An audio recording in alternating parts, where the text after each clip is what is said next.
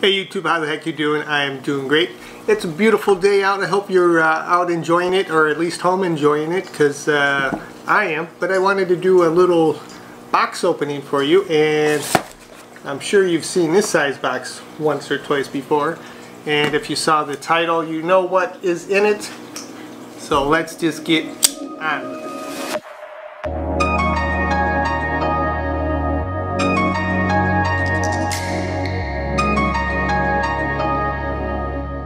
Alright, as uh, we use, typically do, we go ahead and use our trusty knife to cut into the box.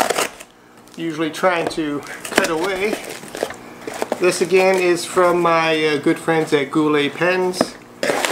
And they do their typical extraordinary wrapping. Got my Tootsie Roll Pop.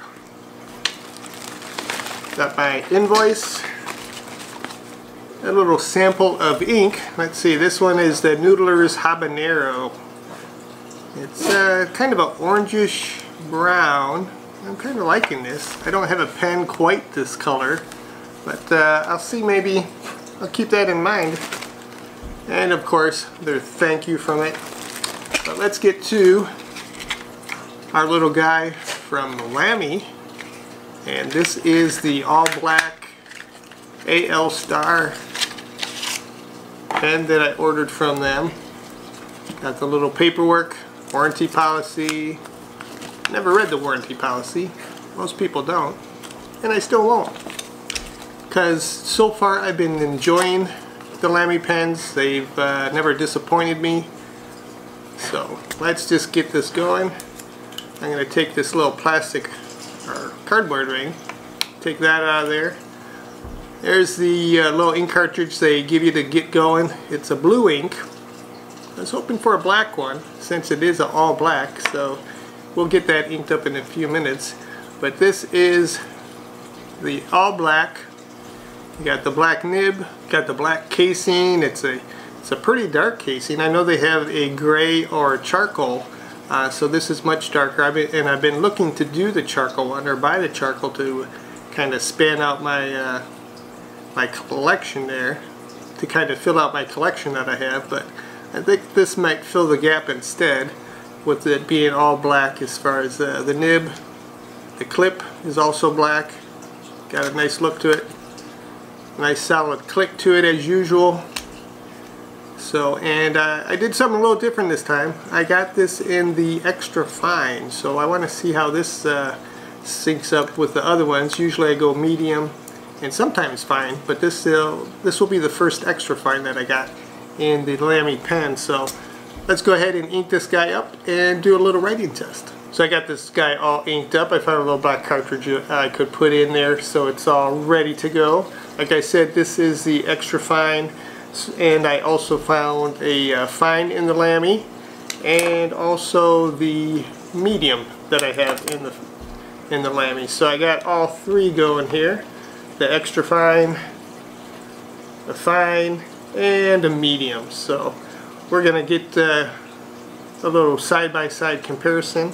Like I said, I typically don't buy the extra fine, so I like how Lamy has these side grips on the pen.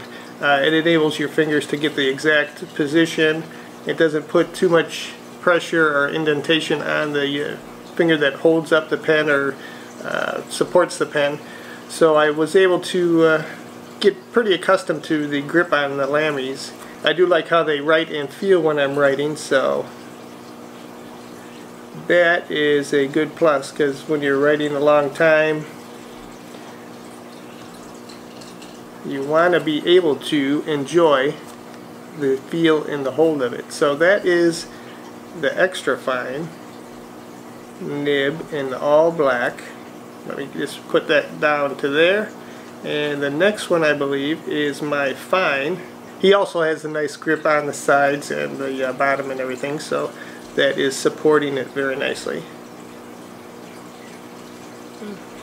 And someday I'll learn how to write Lamy I keep writing Lanny you can see this is quite a bit thicker than the extra fine nib.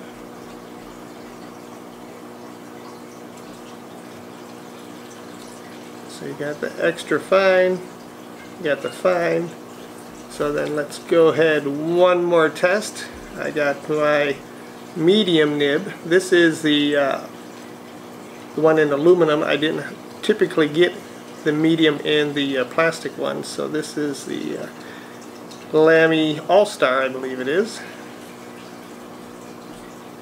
And he's having trouble getting out of the gate. It appears this one is out of ink, and if I had looked in the reserve, I would have known that. So let me grab another guy here. Alright, so we have our technical difficulties uh, situated here. Finally got this guy inked up. All the other ones were uh, out of ink, so I wasn't able to use those. But uh, I got this uh, medium-sized AL-star uh, blue Lamy. It does have a black ink in it though.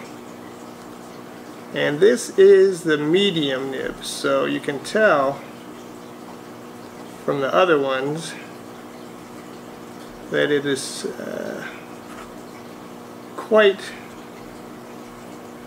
rounded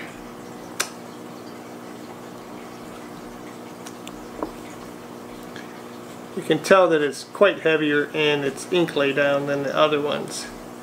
So you got the uh, medium size here. I got my all black extra fine.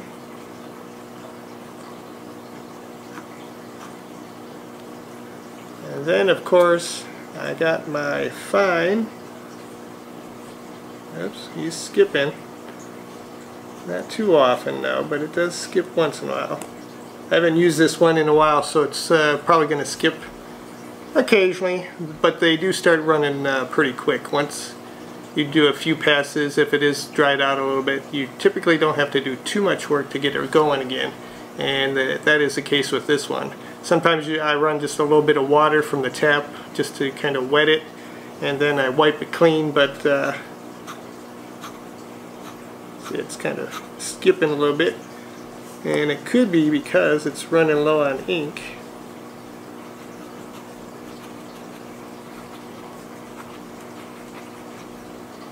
seems to be holding up fairly well. Let me pop the cap on that one. Move the paper over here on the medium.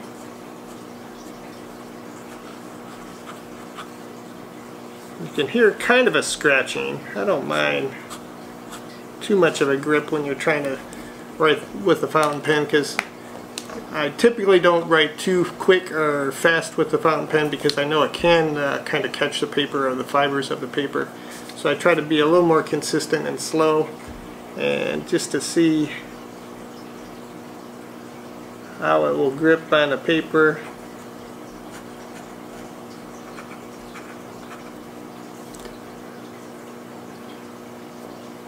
and just lay down a quick line or two. So I'm, I think I do like the extra fine. Like I said, I haven't uh, purchased them before. It does seem to have a nice feel to it. Uh, a lot of times you'll see one of the uh, one of the illustrators I follow on Instagram actually uses uh, fountain pens to do his drawings and his stuff just like I do but you'll see him, or at least I will in some of his photos, do it upside down. And the Lamy doesn't really like that situation. It prefers your typical situation of the nib where it's flat along the surface. Now I am liking the extra fine point. I'll probably do uh, a few more in the future, kind of a combination of the extra fine, fine, and medium. Uh, like I said, I typically just stay with the fine and medium, but I do like the way this lays down. It's pretty consistent.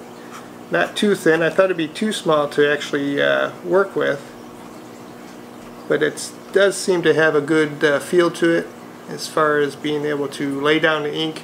Not too uh, grippy with it being a tighter or smaller nib on there. It doesn't seem to be gripping the paper too bad. So guys, that's just a quick little review of the Lamy uh, Special Edition All Black Safari Fountain Pen. I uh, hope you enjoyed this little uh, quick review. Like I say with most of my reviews, I think I'm going to like using this uh, extra fine point to use uh, for sketching in my notebook because sometimes I just need a little tighter uh, nib on it to get some writing or get some details into my drawing. So this will take the place of the fine point in that situation, but I'll also keep the uh, fine point and medium point just on the side, just in case I need them to fill in some extra heavier lines or different types of graphics and stuff on my notebooks that I do. And those will be coming in the future to show you uh, how to start yours or what you can put in yours. I've been following a lot of people on Instagram that inspire me and hopefully you do too. And hopefully one day I will inspire you to start your own notebook. But in the meantime, I hope you enjoyed this little review. Don't forget to like and subscribe and I'll catch you next time guys. Have a good one.